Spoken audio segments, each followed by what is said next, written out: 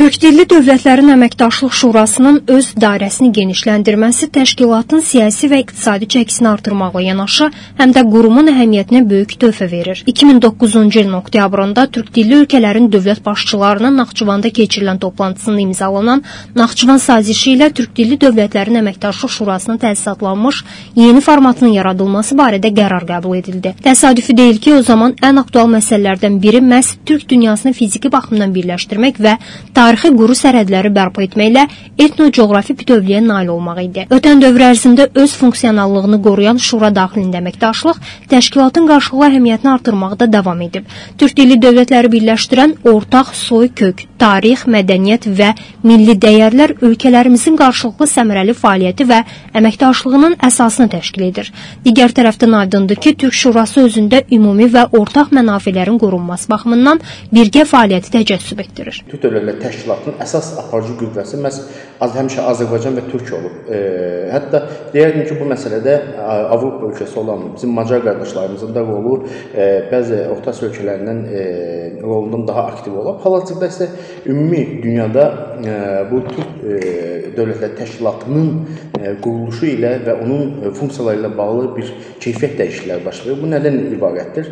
Uzun illər ərzində bu təşkilat daha çox mədəni, yəni sırf mədəniyyətlə bağlı, sosial, siyasətə çox qarışmayan, e, inteqrasiya çox qarışmayan, e, e, daha yüngül inteqrasiya ilə məşğul edir. Daha kiçik hədəflər qoymuşdu qarşısına Sırf Qarabağ müharibəsi ilə və Qarabağ prosesinə aparan yolda, Qarabağ müharibəsi dövründə və ondan sonraki dövrdə Azərbaycan və Türkiyə tutumu və e, Azərbaycan və Türkiyənin arasındakı strateji müttəfiqlik və dostluq əlaqələri, e, koordinasiya digər ölkələri də bu təşkilatı daha da yaxından maraqlanmağa, iştirak eləməyə və inkişaf etdirməyə səbəb elədi. Bu kontekstdə İstanbulda keçirilən Türk dilli dövlətlərin əməkdaşlıq şurasının 8-ci zirvə görüşü olduqca əhəmiyyətlidir. İlk növbədə ona görə ki, sözü gedən görüşdən sonra beynəlxalq qurumun artıq artıq məsləhətçi və məşvərətçi təşkilat çərçivəsindən çıxaraq tam təsisatlı funksional beynəlxalq təşkilata çevrilərək Türk Dövlətləri Təşkilatı adlandırılması qərarı alınıb. Bu isə o deməkdir ki, təşkilat müstəqil qərarlar qəbul edəcək. Üzv ölkələr qarşılıqlı şəkildə vəzifələr müəyyənləşdirəcək və